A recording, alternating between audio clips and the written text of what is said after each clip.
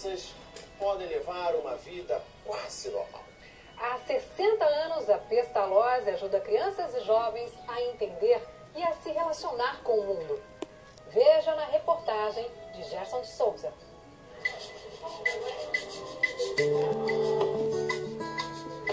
Todas as manhãs há um movimento intenso aqui, mas o movimento não é só da Marginal Tietê, não, na Zona Norte de São Paulo.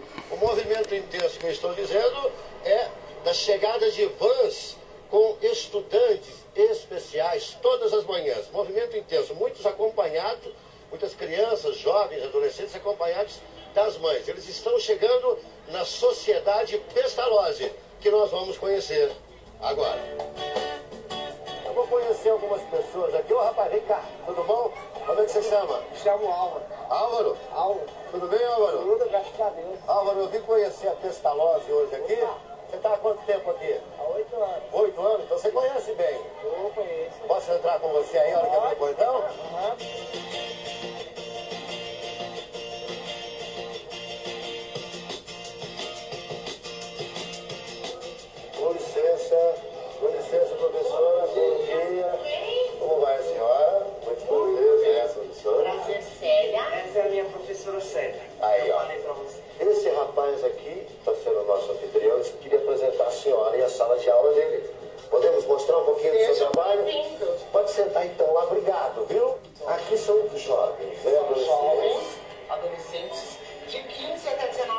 15 a 19 anos.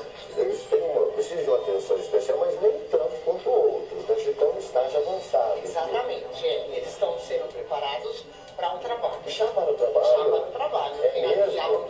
Inclusive o Álvaro, ele já fez até entrevista para frequentar a oficina de trabalho. Ô, Álvaro, você não me falou que você vai trabalhar. Você não me disse que ia trabalhar. Daqui a pouco você vai trabalhar então? Você quer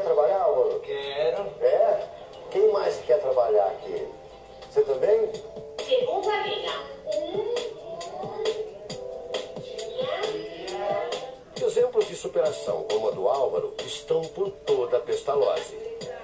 Nesta ala onde nós estamos, existem seis salas para atender crianças com autismo. Elas estão em níveis diferentes. Nós vamos entrar numa sala agora para entender por que o autismo tem que trabalhar com a previsibilidade. Qual é a técnica de ensino para atendê-los? Com licença, professora, com licença.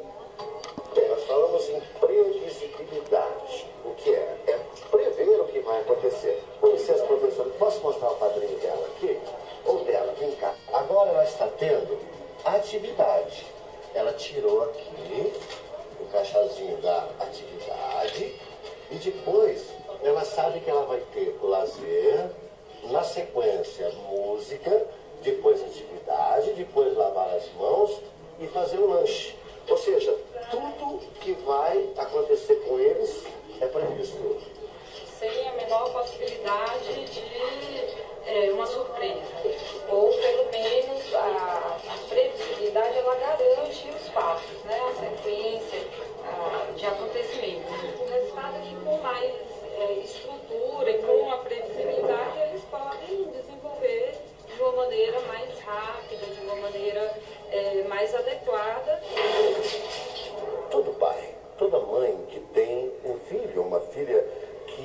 necessita de atenção especial, imagina como é que fica a cabeça desse pai e dessa mãe. Então, aqui na clínica da Pestalozzi, além do atendimento à criança, é preciso também dar atenção aos pais. Isso é feito pelos terapeutas. Com licença, podemos participar um pouquinho? Dá licença, então. É, essa reunião é feita regularmente com os pais das crianças que passam por aqui. E qual é o objetivo dessa reunião?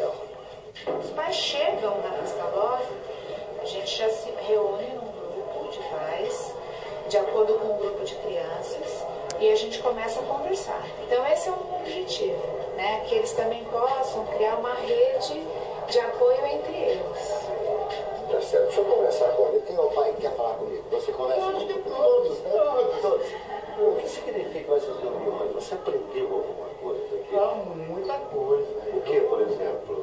cuidar com meu filho, me ensinando muita coisa. Qual é o probleminha do seu filho? Ele é autista.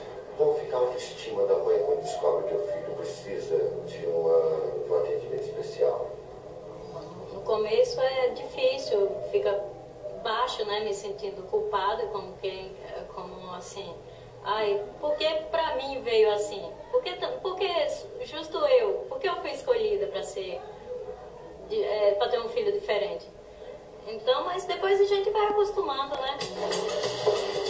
Esse é o seu Rony. Esse é o Rony. Ah, tá com quantos anos o Rony? Nove anos e oito meses. Ei, Fernando.